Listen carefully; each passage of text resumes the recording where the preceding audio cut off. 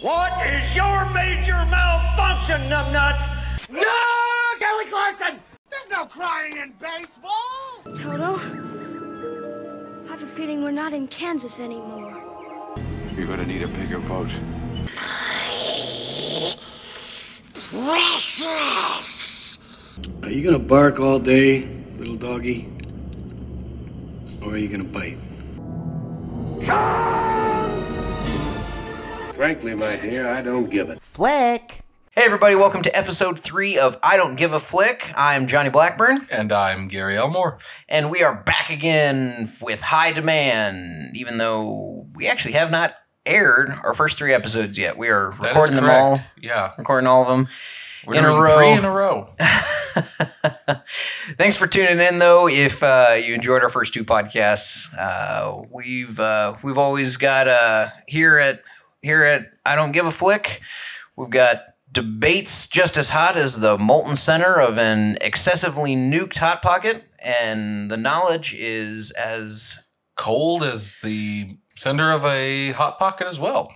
'Cause, if it's uh, not cooked right. No, I mean if you make a hot pocket, it'll be hot and cold at the same time. Okay, I was going to say something like the knowledge is as pertinent as a toe knife, and if you don't understand that reference, shame on you.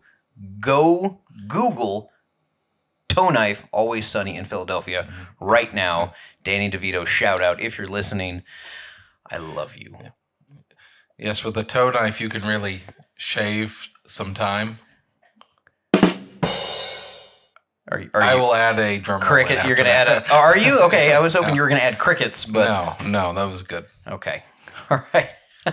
Uh, so what are we talking about here today, this Jonny? this week uh, we're gonna or this episode at least we're gonna go ahead and dive right into the world of 1960s film and the history that shaped cinema during that decade. Uh, this is gonna be an ongoing this is gonna be an ongoing topic. We're gonna go ahead and start with the 60s here and work our way up to the current 2010s, which we briefly covered in our last episode with uh, Ian Webb uh, from the podcast Movies So Good They're Bad. no, no, no, no. That's the other way around. Movies actually. so bad they're good. Is Yeah, that the second yeah. time I've done that? That is, I am actually. horrible at giving shout outs to Yeah. people.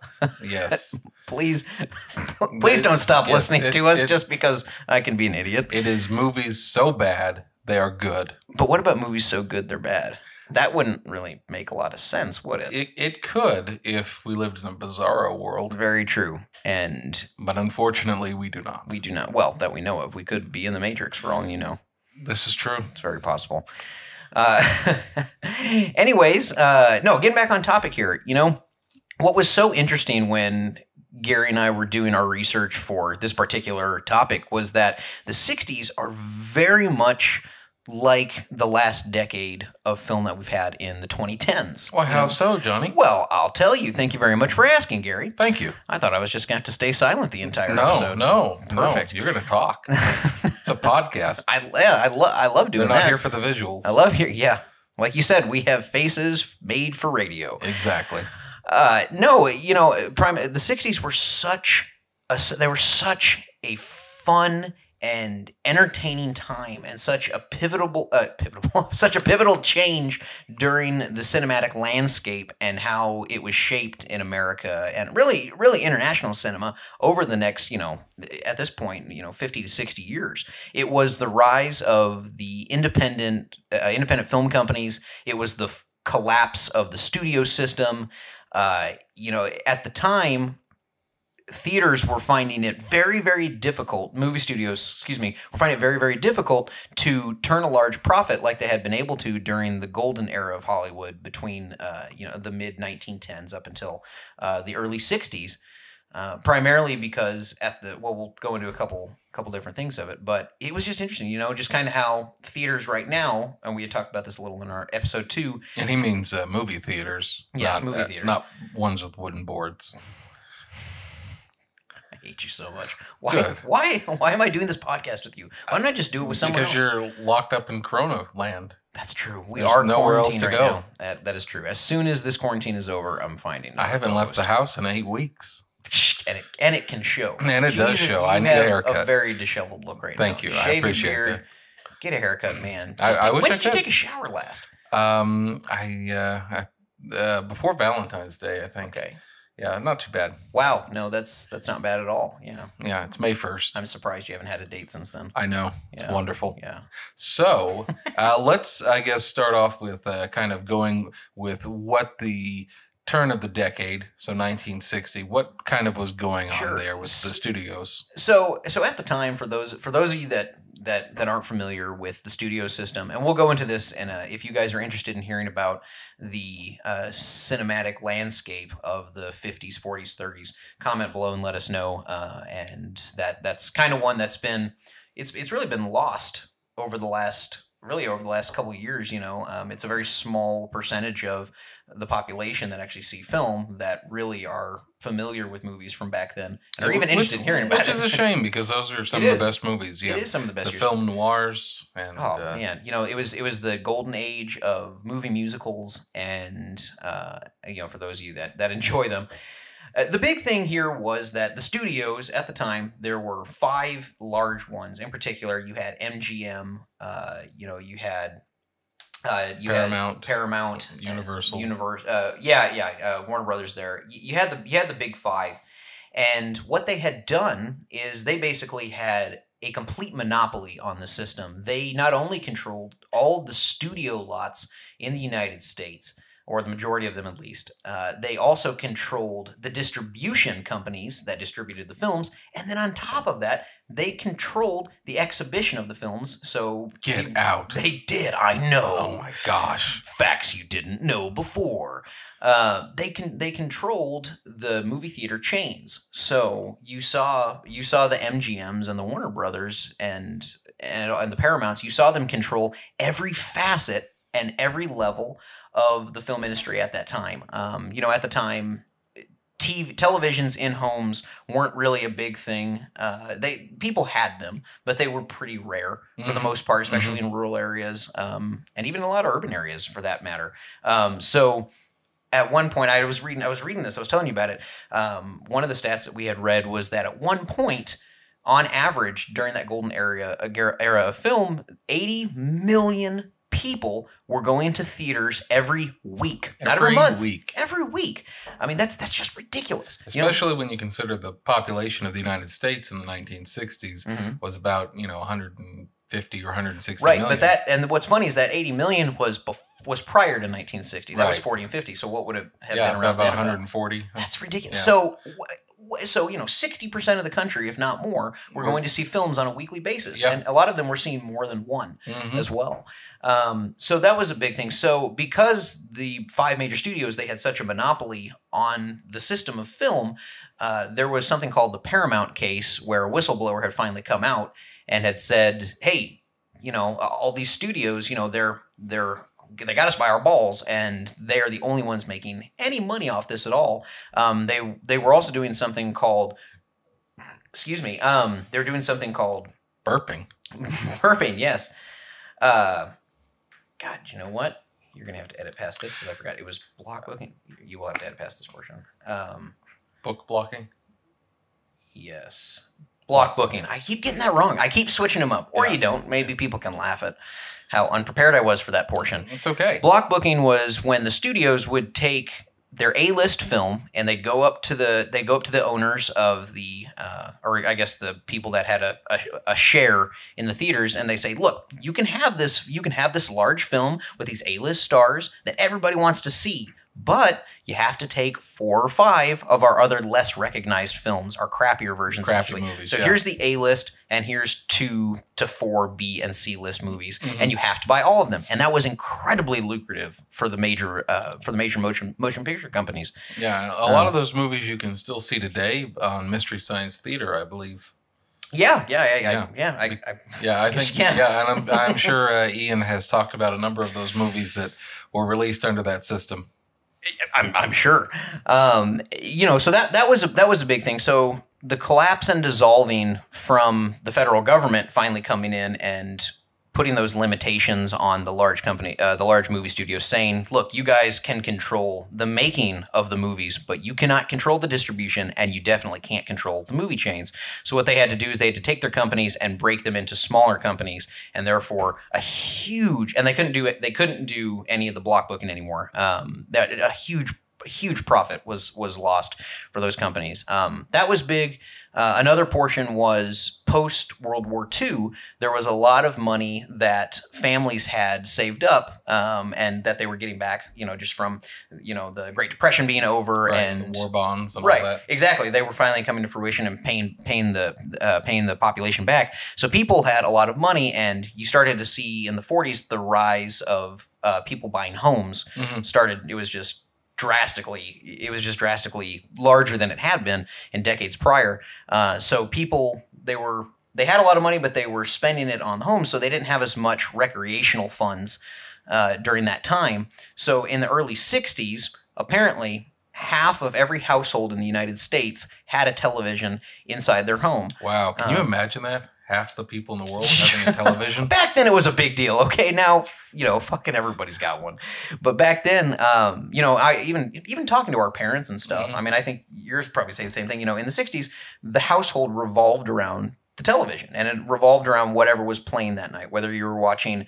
you know johnny carson on on tonight show or you were watching I Love um, Lucy. Love- yeah exactly you know or any of the any of the sitcoms coming out so people basically a lot of the a lot of um, cinema and film historians have said that that decline in the film industry was uh, also due to the fact that people wanted a free form of entertainment that they had right in front of them. You know, at that time there were only three major Mhm. television networks. There was CBS, ABC, and NBC. Right. And they all started to finally offer 24 hour a Mhm. day broadcasting. And it, it, what I, I think is great is that uh, TV is a it's a free medium, and it always Right. always will be. Like you never have to pay for TV. That's that's true. Yeah, um, that's not going to change. okay.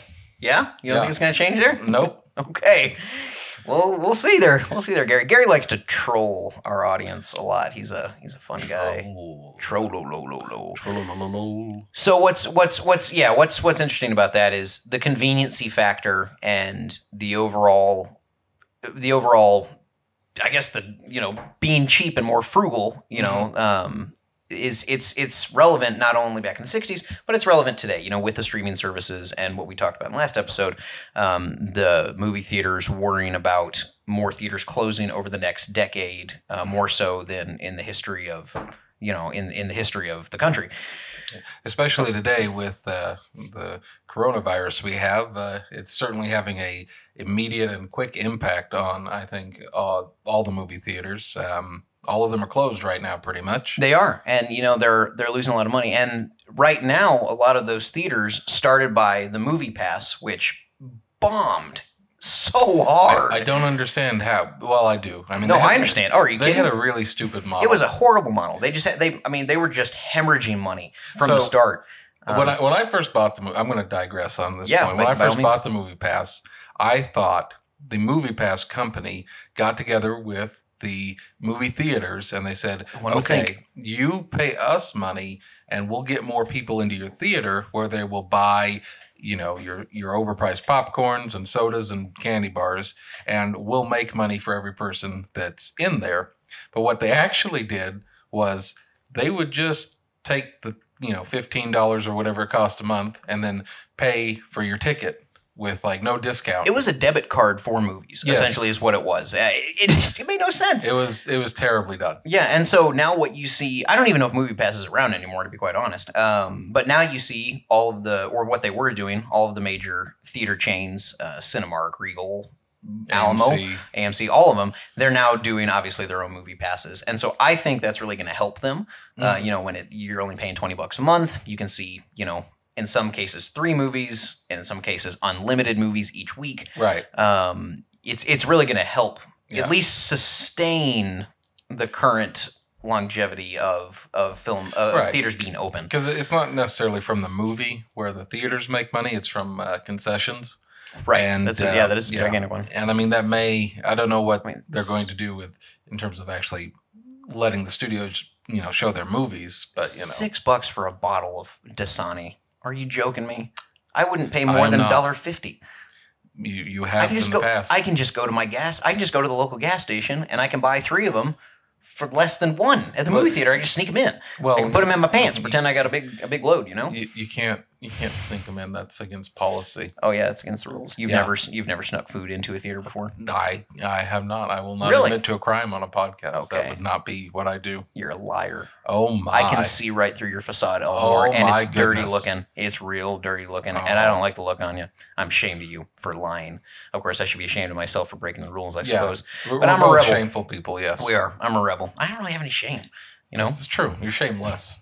Just like the William H Macy movie, serious. TV show, whatever. Yeah. You know, Very, very, two very different You know, things. it's the same Well, I don't know about today.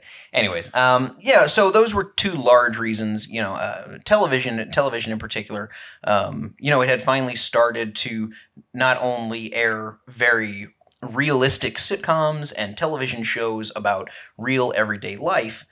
Uh, you know, between like the what the Andy Griffith show and um, around that time was Leave It to Beaver came out, Yeah, and and you had uh, like TV shows like One Adam Twelve, which was uh, kind of the first cop show, Dragnet. Yeah, I forgot Uh, about that. Yeah, you you do always talk about that one. Um, you know, they had uh, sketch variety shows were really big. You know, Dick Yeah. Van Dyke Show.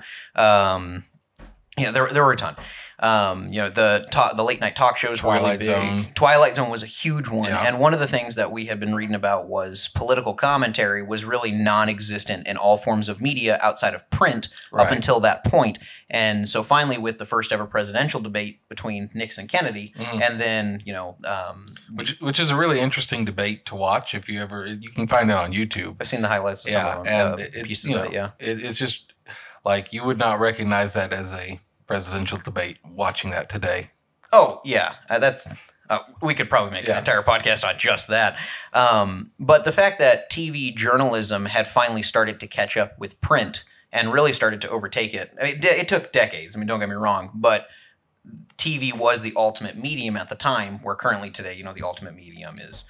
Uh, The internet, really, it is the internet. You know, it's social media at this point. You know, you can you That's can post any type of terrifying. You can really, truly, you can post any type of high quality, low budget commercial and market it by yourself on social media. You know, if you and if you need an expert, an expertly done commercial, then you can go to LeadFeather Productions, based out of Austin, Texas. Yeah, you know, go they'll to take care of all of your needs. www.leadfeatherproductions.com. That's plural, not singular. Exactly. Productions with an S at the Yeah. end.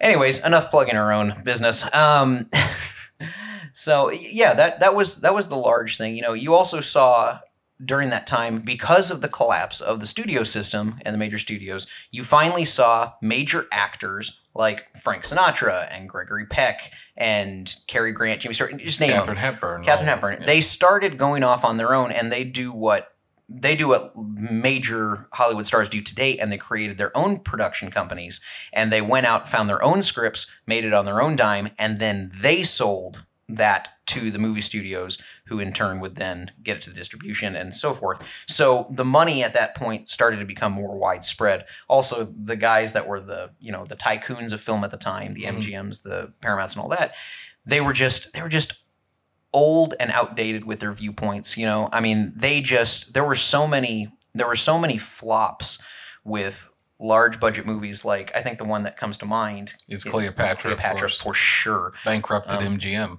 I mean, that's it's it's just it's ludicrous to me the fact that they didn't figure out that they should be filming this kind of stuff overseas before. In the late 50s, early 60s, you started to see a dramatic shift in uh, epic war movies being shot over in Europe, Great Britain, Italy, Spain, so forth, um, which in turn then led to the rise of artistic Euro cinema, which then inspired the new generation of Hollywood, which is the big point of us talking today, the type of films being created in the 60s. Yeah, and in addition to the collapse of the studio system and the rise of the uh, independent artists, this was all done on the backdrop of the uh, the 1960s, which was its own turbulent decade in and of Mhm. itself. Mhm. I mean, you started the the decade um, much differently than you finished it. So you think, you know, the Sound of Music is considered widely, I think, is the last kind of Hollywood musical. That it, was, it was sad to see the end Yeah. of the musical era because you're right. You know, Mhm. I mean, Sound of Music, West Side Story. Um, yeah, I mean, they had a, they had a, a couple Yeah. other ones in there, but yeah, you're. It, Yeah. it was just it was the end of an era because those had been the primary money makers for the big studios for 15 to 20 years. Yeah, and so Sound of Music was 1965, and then uh, you, we get into the end of the decade. So 1968 was a very turbulent year for the United States.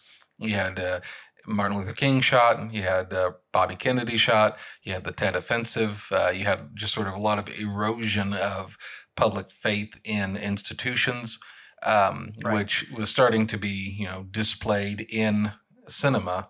Uh, and then carries through into the 70s, I think, to Yeah. its ultimate effect. Yeah, it, and it, it really brings out the anarchist type Right. movie and stuff. You know, you see that with just the kind of the uh, the uh, the absurdist eccentric type pieces the 2001 a Mm. space odyssey um you know you saw that a lot with oh god even rosemary's baby and oh geez what else uh, planet of the apes Right. So yeah, uh, you- just a lot of those a, lot, a lot of different kinds of movies, uh, less wholesome, uh, more critical of society, more gritty more gr- more know? gritty, more Yeah. realistic in in some ways. I mean, uh, the Von Trapp family is not escaping uh, from Nazis in uh, the late '60s the same way they would in the mid '60s. It's true. This is very this is very true.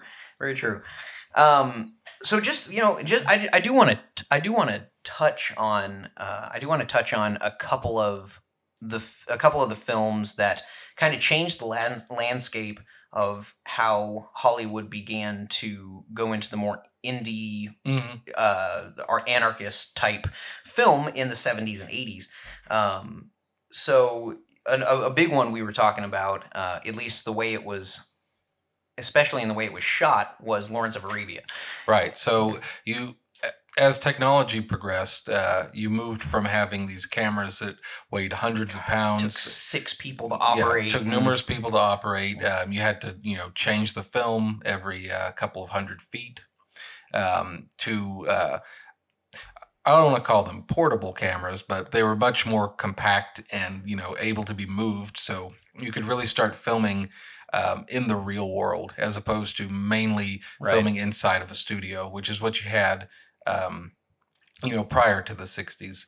So, like Lawrence of Arabia was filmed, you know, they went out into the desert for two years and filmed these just beautiful shots of these these desolate landscapes to, to tell this story.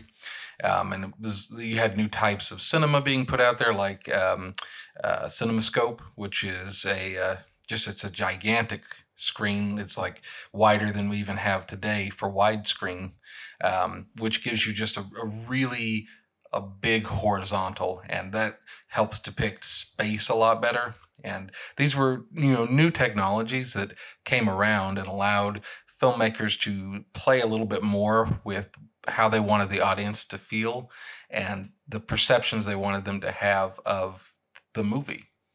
Right, and you know what I what I really noticed. We watched one of the more iconically shot scenes earlier, and with that one, it was the first time that I had at least seen because I, I think both of us have a fairly a fairly deep knowledge Mhm. of movies in the 50s 40s 30s you know we've just growing up you know hanging out with our grandparents would show us a lot of Right. that stuff or whatever um, i hadn't really seen before that much depth of field in in shooting and stuff you know you had shown me the portion where it's a quick shot of it's a quick shot of um, peter o'toole's face and then it's another quick shot of the desert and it shows the mirages that he's about to see it shows the heat rising from the sand but it's supposed to be from like you know a quarter of a mile away or a half a mile away and it was the first time that it wasn't intimate like it had Yeah. been in this when the studios were shooting everything prior to the 60s Right, because you, You know? just can't really get a shot um, with that kind of uh, grand, grand scheme of things. Like, I mean, Sure. you, you look back to you know 39 and Gone with the Wind, and they did a, a remarkable job with the one crane shot that pulls up and shows all the dead bodies Mhm. uh, from the from the battle. But it's not quite the same thing since you know they used they used trickery like matte paintings to make it look like a more impressive space than it was, but it's really just sort of the back lot of the studio of the MGM studio. Whereas this was actually filmed in the middle of the desert, and so you have that that openness that uh, that you just don't get inside of a building. Right, exactly. So, kind of, kind of transitioning over from that to another epic battle movie, which I know is one of your favorite of all time. Right. Um, it was just completely packed with stars from front to back. With you know, is the longest day. Yes. And for, I honestly, I, I think the majority of people out there are not really familiar with this movie, regardless of the star power that was behind it. Yeah, it pretty much had every major Hollywood star uh, at the time. I think it was 1962. Mm-hmm. Yeah. So you had Um, John, who did you have? John Wayne, Burt Lancaster, Yeah, Sean Connery, mhm. Gert B. Frobe. Mhm. Um, Gert B. Frobe played Goldfinger, so he's probably not well known, but I Only you would I know remember that. his name. Only you would know that. Um, Oh. You know, you had uh, if you think of a star that was somebody that was famous in uh, you know the the turn of the or the mid century, you're they're gonna pretty much be in that movie, and you know that was I think um, a really epic movie because Mhm. I, I don't think they'd ever had an ensemble cast like that before. I mean, the only even today the only movie I can think of that would have you know nearly that star power uh, would probably be Endgame and only Endgame because that had all. I'd of, say yeah, most of the Avengers movies, yeah, in particular Endgame, of course, yeah, sure. I mean, but like, I mean, that just had everyone that was famous. that had the I think that, I'm pretty sure, and correct me if I'm wrong, but that had the highest payroll out of any cast in the history of film. I, just- I, just I would on believe cast. that. I, I'd Yeah. have to double check that, but I, I would definitely believe that because you had a lot of major stars in Yeah. there. So I, I guess me- the question I posed to you is, what was the difference from the longest day, a move, a, a war epic that was, you know, for a while was at the end of its rope. This was kind of the end of the studios making those big budget, and it was one of the last successful ones that they had. What was the difference between that and, you know, another war movie that, that you Oh, that you really love? Like what what made it so special? What made it so what made it so iconic? Well, I, I think it was iconic just because the the scope of it. I mean, you had Mhm. uh, something like fifty three major actors that were in this movie, Mhm. and they, you know, it, it was not just one single story. It was, you know, six or seven or eight major plot lines that were kind of all going on at the same time. And Okay. if you watch the um, original version, the the Germans in that spoke German, so you had to read the Mhm. subtitles.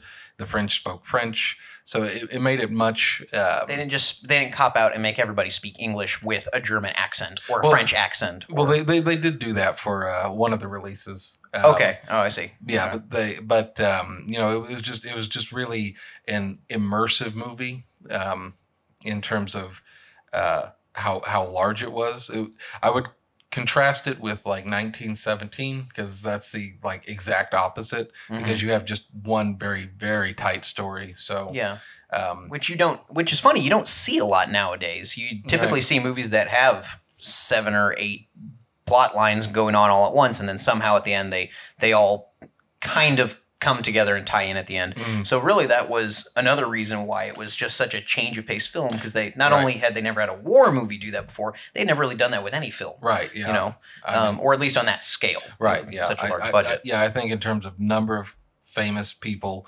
uh, that's probably not been topped. top since then. Yeah. Yeah. No, I mean you're you're you're probably you're probably right. Um, so uh, you know another bi- another big thing. People, this this is it's the '60s where they were such an interesting decade and such an intricate part of the growth of how we see cinema today. And I guarantee you, the majority of you out there, your favorite decade for cinema, where your favorite movies came out, or your favorite style at least, you know, is probably in between, you know, the 70s to the 2000s, I would guess, you know, 80s to the 2000s at least. Um, but what a lot of people forget, because some of his stuff was in black and white, was this is when Alfred Hitchcock really took off. Right. You know, yeah. this is when the when he was finally, you know, the big studios, since they had been losing so much money because of the things we had already named, they were only going with scripts that were safe and cautious, very much like today with the from last episode, the Mhm. remakes and the sequels and stuff. That was it was a little different. They didn't have a ton of remakes and sequels, but they stayed safe and they didn't they didn't go outside the box. And then Hitchcock comes along and he brings us Psycho and he brings us The Birds, and it is many many film historians claim to be the birth of you know the Thriller, the yeah. thriller yeah, like the you know the psychotic you know overly analytical Mhm. there's a message in every shot type film Right. and and yeah exactly and you, you didn't have psychological thrillers like that before hitchcock came along and today it, there's a plethora of them i mean Right. you can you can i can, I can throw a, i can throw a rock Right. five But- feet and i can hit three of them Yeah. you know most of them are crap though. But I mean, like, Well, yeah You know, that's true you know, uh, there's a lot of crap out there but everybody's aware that the first shot of a toilet was in uh, Psycho, which is very interesting. see i didn't know that okay, well, Yeah. you, that's why people tune into this podcast because uh, because of you know imperative information like that that it's they have to know important. To to claim that they they know a little bit more about film history. But Hitchcock also, um, and he really deserves his own episode at least. But you know, he just was able to. The way he could direct and see how to frame a shot was just so different in how it could tell the story, and he would play with the audience's perception. So in Psycho, um, they uh, the movie starts off with uh, the lady whose name escapes me right now, and she's she's stolen the money. and- Tippi was no Tippi Hedren was the bird was the birds. Right. Right. Okay. um, and she's stolen the money and she goes to the motel and the camera's with her the whole time and then when she goes to you know check in it's behind her and we see um, norman bates and you know checks her in and then she start she walks off frame and as an audience member since we've been with her the whole time we're expecting the camera to pan with her and go out the door and continue on with her life and whatever she's doing. But it stays on norman bates because this movie's really about him. And you know that's just one of the kind of new creations that uh, happened you know in the 60s Yeah, and I think another thing which will, you know, ho- horror films in general, you know, psychological thrillers, you know, we can have probably in the future other podcasts to those themselves. But one thing that I hate about horror and psychological thrillers today, horror movies in particular, jump scares is it's all the jump scares and it's all blood and guts and it's all how fucked up can we make this to make the audience's stomach curdle and that's fine like there there are some really good movies that do that but i think the true artistry and the true genius of classic horror and psychological thrillers is how Hitchcock set it up with piece by piece, scene by scene, Mhm. shot by shot. He just draws you in, and when you think something's coming, it's not. And he like raises your anxiety up to that climax, and then he brings it down just a notch, and then he keeps bringing it up and brings it down and brings it up and brings it down, and he does it for you know the whole the whole movie. Yeah. It's like, you know, 20, 25 minutes on end until something finally happens. Yeah. And then you just don't know how to expect it. And that's what makes it scarier. And, you know, I mean, I always rave about James Wan, the creator, for those of you who don't know, the creator of uh, the Conjuring series, Insidious, the original Saw. Um, you know, he he's able to do that as well. He's able to be, they're both masterful in how they keep you on edge through for, through framing and the shots, but also the sound. Mhm. I mean, all the the Foley artists and the uh, composers that work on those films. I mean, they did, should did be, a fantastic they did. job. They should be Yeah. getting paid the biggest And- bucks because that's that's what keeps me coming back to watching movies like that. and you know. if you want to see a movie probably the best movie about suspense i would say that's probably rear window that i think came Rear out Window was, in was uh, fantastic. uh, 64 or something around there Uh, That could have come out in the '60s. Let me double check on that. But uh, that's just one of those best, uh, the best movies that kind of show like a slow building. 1954. Okay, so Right. But uh, Hitchcock nonetheless. Um, so it just really shows um, really great uh, pacing. Yeah, it it, it really does. You know, I think the really the really cool thing about this era is the freedom and the artistic expression that people were allowed to have because the monopoly and the stranglehold that the Mhm. studio system had on the entire industry was almost completely collapsed at that point. Right. Um, so another one that personally I've, I've, I've always found it a little overrated, but that's just me. 2001: A Space Odyssey. Um, I, I know how much you So like. it's a how very you- slow movie. It- it It's is, and may- very slow movie. Maybe maybe that's it for me, and the fact that I, I haven't seen it since I was a teenager. It's, it's a you know? it's a Kubrick movie, so it's very weird Yes. too. Like doesn't Yeah. make sense. Um, what did what did you feel like when you had? I mean, you've seen it multiple times. Mhm. So what did what did you feel like that one had, and what did it what did it propel into film today? Like, what did it? What type of you know what the the Kubrick style? You know what what exactly did it? I, I think one of the most interesting portions of that movie was um, the leap forward in terms of um, special effects. So I think that came out in '66. I want to say.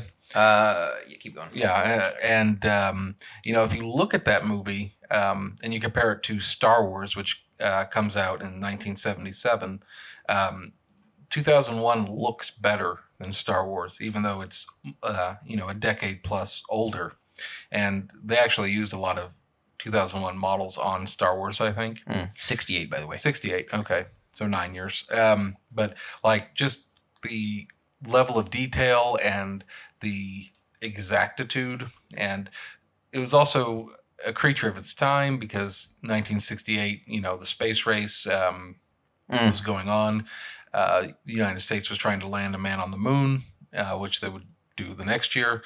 And just, you know, we didn't, you know, it was a very exciting time and kind of also a very terrifying time. I mean, because he kind of, you know, loses his mind for lack of a better Yeah. term. which Uh, is which is kind of you know we had we had we we try to put a lot of things into the you know the 45 minutes to an hour and a half that we Yeah. do each week or each episode um and one one of the things I want to touch so the social commentary again that's Right, yeah. portrayed in 2001 a space odyssey you think the the when the initial screenplay was written a lot of that was the cold war in mind and how that was kind of Yeah. making certain americans fear the potential nuclear attack that could be coming from the Soviet Union and the insanity that was maybe driving parts of the country country too maybe You know, I, I would I wouldn't say that. I would I would say that um, it was more about the um, the expression of both hope and fear in technology. Um, okay because uh, you know Hal um, is uh, you know trying to survive up in space, and you know has to uh, you know battle a computer to to do that. Right. Uh, but like in the '60s, you did have a lot of movies that started talking about social commentary 'cause of the of the age. So in the There 1960s, you had the um, you know the the civil rights movement, and then you had movies coming out that spoke about that in plainer and more direct terms than ever Oh. before. and and one of one of my favorite more underrated movies of all time Spencer Tracy Sidney Poitier and Katharine Hepburn Mhm. guess Who is coming to dinner? or lunch. Or Just lunch. kidding. The or lunch is, is wrong. No, guess who's coming to dinner um, was was just was just a classic. I mean, the fact that Sidney Poitier had already he had already established himself as one of the up and coming up and coming titans of you know Hollywood superstars at Mhm. the time, uh, and the first African American one for sure. Mhm. Um, you know, with with the roles that he was given, it was a changing time, and rightly so. Um, it just it touched on I mean, it touched on every aspect of the civil rights movement. The fact that you know it was for those of you that aren't familiar, it was uh, it was a well-to-do family in California, I believe, Yeah. and their daughter that had gone, uh, she had gone traveling, uh, I guess a couple months before, Yeah. To, co- and yeah. To, uh, to college, wasn't it? yeah, yeah, Yeah. I think, or like before college or Yeah. something. And uh, she had met a very prominent doctor, Mm-hmm. and she was bringing up. They were they were engaged to be married, Right. And Very quickly. Like he. Oh, He hadn't met the parents yet. Yeah, and so she had phoned ahead and let Spencer Tracy and Katharine Hepburn know, I'm bringing my fiance to dinner.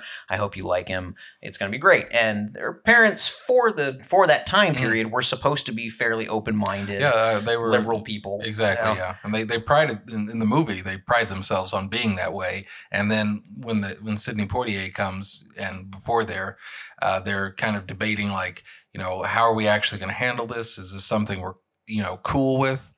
um, as the kids say these days. And uh, it was. It Is was that what the kids say? yeah. Is that cool? Are, are we cool with We that? radical? I'm down with that, Daddy O. Who the hell talks like that? You're I stuck do. in the '70s, dude. So, well, we'll get to the 70s later, but uh, time. You, know, you know, so it, it was just you know talking about a lot of uh, concerns and ex, you know feelings that people were having um, at the time, and seeing if they were able to actually live up to sort of the ideals that they had, you know, believed in. Um, so that was also a great movie, I think, too, because it was Spencer Tracy's last movie, and um, uh, Mhm. so Katharine Hepburn is a famous uh, technical actress, um, which uh, Got the story. So Go I'm gonna. I'm gonna tell the Yeah, story. I know you're going to tell it. Yeah. I've heard it a million times, but go ahead. So, uh, you know, technical actress is uh, someone who uh, doesn't uh, become the character, but they portray the character. So they're not, if like their character's sad, they're not actually sad because they rec- recognize it's just acting and it doesn't have to be something that, you know, drives you insane. It's a way of life, not just acting. Uh, so uh, she's a very technical actress, um, and there's a scene in it because Spencer Tracy at this time is very sick, um, and uh, you know he's going to have to retire from acting after this. And if you're not aware, Katharine Hepburn and Spencer Tracy had a very long uh, romantic history together. Very it's long. one of the great loves of Hollywood. How long was he? How long was one of them was married Yeah, during Spen- the entire? Right. Spencer Tracy was married. Okay, yeah. How Uh, long? How long was that affair going on? That they? Uh, I think that affair went on for like 20 years Yeah, or so. um, and it, it. Spencer Tracy's wife was aware of it, but they were Catholic, so they couldn't get divorced. Hmm. Um, but anyway, so the you know, Katharine Hepburn, you know, you get to see some of her real human being emotions in that because um, you know Spencer Tracy's also very old in the movie. Uh, Guess who's coming to dinner? And so just that loss that they're about to have, you know, you get to see that, and that's a really nice, uh, beautiful moment. It, it was, you know, and and uh, one of the reasons actually, it's funny that you bring that up. One of the reasons that you saw so many actors pre 1960 through, excuse me, pre 1960, you know, all the way back to the beginning of the golden age of Hollywood was because the studios at the time, outside of not only monopolizing how the industry was ran, they also monopolized on their star actors and they signed them to these ludicrous contracts that were just so long in length. Basically, the contracts would state, look, you can, you know, you can't work with any other studio outside of us. You have to dedicate yourself for, you know, X amount of years, you know, 10 to 20 years. You have to do, you know, 12 to 20 films, blah, blah, blah. And it was just, it, it was, it was driven by, by money and greed. And they had, they had no power. Um, and so that's why you saw, you saw a lot of, you know, Spencer Tracy, Katharine Hepburn in a lot of the same movies.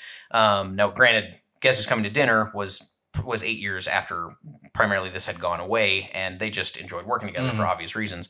Um, but you know, seeing guys like Jimmy Stewart and Lionel Barrymore, um, you know, and, and people like that that you'd seen a lot of films, that was the reason for it was because they had to be in all those movies together because they were under contract. You know, they had sold their soul for Right. decades. But it, it- conversely, against that point, it was also kind of interesting because you had more of an acting troupe, like uh, the old school theaters, because these people would act together and they'd have to act together, um, and they could not act together. So you you didn't have quite the mixing of uh, stars uh, that you do today. So of course not. It's it was so boring back then at certain like certain movies and stuff that could have been better if you had mixed the chemistry up and tried something new. well, I mean, it's called acting. I know it's called acting. So here here's the thing for those of you that don't know, as you've probably figured out by now, Gary and I have known each other for a very very long time. over six months. Over 6 whole months. Uh no, 20 years at this literally this year is 20 years. at Mm, 12 years old mm. in Mr. Tilney's French class. Oui, sixth parle grade. français. Yeah. Alouette.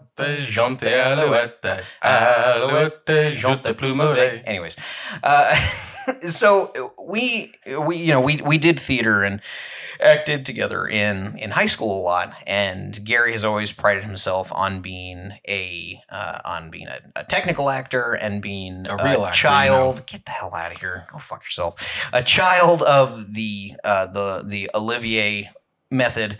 I have always prided myself on being a very method actor, um, more he along just the can't line. control his emotions, is what he's saying.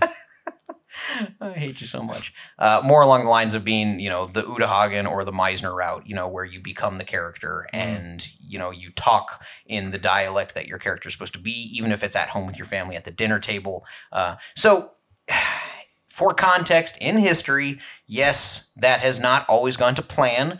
For some Mhm. people, you've probably heard of how Heath Heath, Ledger. Ledger. yes, was a very methodical act. He was a very methodical methodical actor, and when he played the role of the Joker for The Dark Knight, Mhm. they stated that even after the film was over, one of the reasons they speculated that he committed suicide or he overdosed by accident was to get to become psychotic, he had to take a lot of different types of pills and a lot of different types of drugs to make him either not sleep at all during the night, so he was crazy, like in that crazy enough mindset to go on set and play a certain scene that day or shoot a certain scene, and then he had to take a lot of lot of fucking sleeping pills to get to sleep for 12 hours to make up for the lack of sleep he had the Mhm. night before. So essentially, he went crazy because of his acting. Kathy Bates did the same thing in um, Night Mother. In Night Mother, where uh, she actually had to go to counseling for over a So yeah, year, she, right uh, after. she was on a play in, on Broadway called Night Mother. She Mhm. did that play Good for show. a year, and she after that she had to do counseling for two years. So Right, because she had become the character, and a lot of these characters, you know, they have these incredibly traumatic experiences that a normal human being would probably not encounter through their life, um, or if they had, they've they've probably somehow gotten over it. But they become the character in the middle of that most traumatic Mhm. point of their life. So, anyways, I consider those types of actors to be more entertaining to watch. I consider them to be more genuine, and I think it's the truer art form. Whereas technical acting is bland and uncreative, oh, okay, yeah. So, well, no imagination whatsoever. well, I like repeat performances. And, I know you do, uh, buddy. Heath Ledger's not going to be giving out any. So that's a l- that is a low blow. That I'm is just too- saying. Do we have do we have a sound effect for too soon? No. Oh God, I'm so happy we never met him. Mm. So yeah, so that's film in the '60s. Film film in the '60s, a, a truly a truly fantastic decade that is honestly overlooked and forgotten about at this point. Mhm. There's a few movies that, and only a few of them that we mentioned that uh, probably a lot of you have heard of. Though those of you that obviously have heard of more of them or know more movies from Yeah. that time than we do, sure, you may appreciate it to its fullest extent. like The Graduate, um, Right, a, yeah. a very famous movie from that time. Uh, You're trying to seduce me, Jonny. you? Oh Oh, God.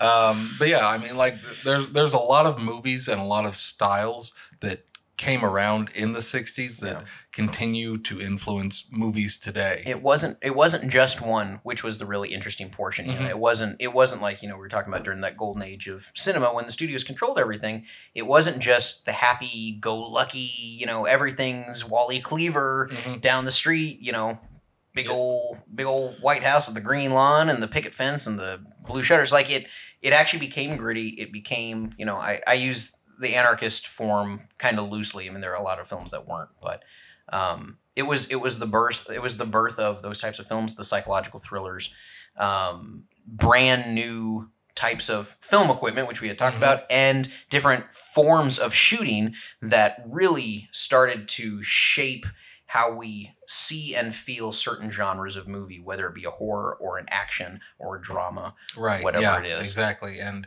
it uh, continued to, to play into the 70s with a lot of these themes it continued to evolve uh, of course and even today they're they're still evolving um, we've just started a new decade 2020 uh, we are uh, i am afraid to see what comes of this decade because the 2010s were so rough all well around i'm pretty excited i mean we're uh, four months down in this year so far and uh, we've barely seen anything we've we've had world war three oh for God's sake. uh, the No. australian fires No, Gary, that is The that is Pentagon social said that there commentary. We were talking about the UFO. films that came out that have come out Well, so far, what- which are not a lot, Well, what, I mean, what I'm saying is like the films are going to come out after this are are- affected by that. yeah, so Sure. we're going to see probably a lot more films that are, I think, going to be more intimate in the next year. So you know people having to live at home with with each other and how they deal with that.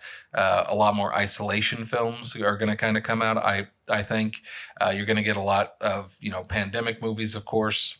Um, Yeah, I So- feel like that's I feel like that's going to be way more prevalent Yeah. over the next at least over the next four or five years than it has been in the past. absolutely, Because I feel like you know, I mean, we've had yeah, we had those. You know, we had we had the the decade of it was superhero films, and then we had the decade before that where it was zombie movies, Mm-hmm. Right. And you know, the decade before that where it was you know the trippy Alien. mind fucking movies Yeah. and alien Yeah. movies. Yeah. So who knows? Who knows what the next decade is going to bring? Um, so Well, ne- I'm, I'm, just, I'm just saying, like in 2009, we had the SARS virus, and then we had Contagion, like two years later. that is true. and That is true. nobody talks about SARS or worries about it or anything at the time. And coronavirus, everybody's whole life has changed. So we're probably going to have dozens and There- dozens of movies. You're probably right. It is it is a changing of the times. Yep. As our old friend Bob Dylan would say.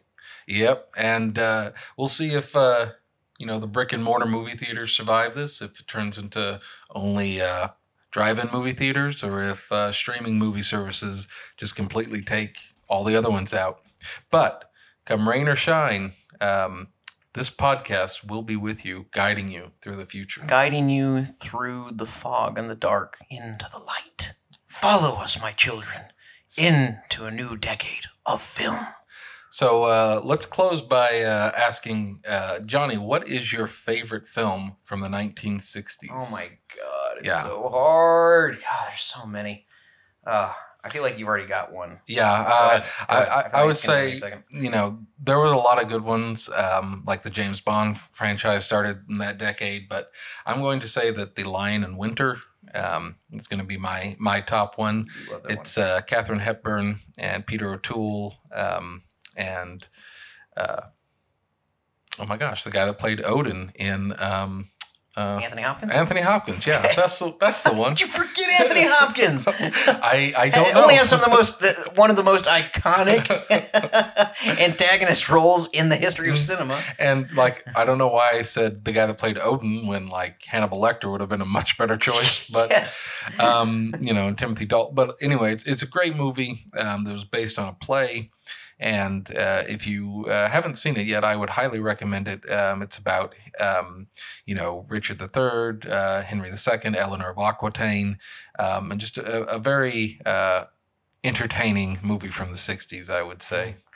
uh, yeah, no, I would have to agree that that's definitely one of that's definitely one of the better ones. Um, you know, I see this is this is the part that I get I get boggled down by because of how many fantastic and iconic ones there were. You know, between Spartacus and between God, you know, Lion in Winter, between Lawrence of Arabia, The Great Escape, which is probably my favorite, my favorite of all time.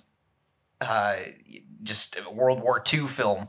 Um, Really? It, uh, it's one of them. I mean, God, dude, Steve McQueen. I only wanted to learn to ride a motorcycle when I saw him trying to jump that fence. Yeah. Is, the, is, the, is, the, is the only time that I really wanted to do it. And then I went out the next day, got on my dad's motorcycle, put up the kickstand, and fell over. Okay. Scraped my knee, and I've never gotten back on one since. Okay, well, that, that's a good lesson to all you kids out there. Don't try anything new. My, never try anything new. Yes, give up. But to to this day, still my, my favorite one is going to have to be Guess Who's Coming to Dinner. Um, Okay. I've I've, All right. prob- I've probably seen that one easily a dozen or so times Okay. over the. Um, I mean, you know, Sound of Music is one of those classic. It's it was the end of an era, Mhm. and I saw it a million times as a kid, and I know more songs from that than probably probably majority of musicals. You know, outside of maybe I don't know Les Mis or Wicked or something like that. Um, Okay. so there's a lot of there's a lot of classics, you know, and any Hitchcock film's all great too. But but guess who's coming to dinner? Um, that one I think that was that's, that was the most transcendent out of out of that entire decade. So that's just me though. Um, next week though we will uh, or I keep saying next week we might we'll probably Well, film one when- sooner than Yeah, we'll when- whenever we see Next you guys episode. again, you know. Could be- could be three weeks, four weeks, who knows? We could all knows? die. Who knows? We'll keep getting higher pitch with our voices. I, I can't go. No, I'm done. My balls have dropped, so Yeah. I can't go as high as I used to. Um, we will be talking He will pick them up later, though. I promise you. we'll be talking about the 70s in our next episode. Um, thanks so much for tuning in. You guys stay safe out there, okay? Um, we are all in this together, and we'll get through it. yep. Yes, You know, we will. We'll get through it. Once again, I am Jonny Blackburn. And I am Gary Elmore. You guys stay classy. The hills are alive with the sound of flicks. music. I don't give a flick for a Thousand thousand years. years. And you will know my name is the Lord when I lay my vengeance upon thee. Are you telling me you built a time machine? Out of a DeLorean? I'm funny how? I mean, funny like I'm a clown. I amuse you. Is looking at you. Flick.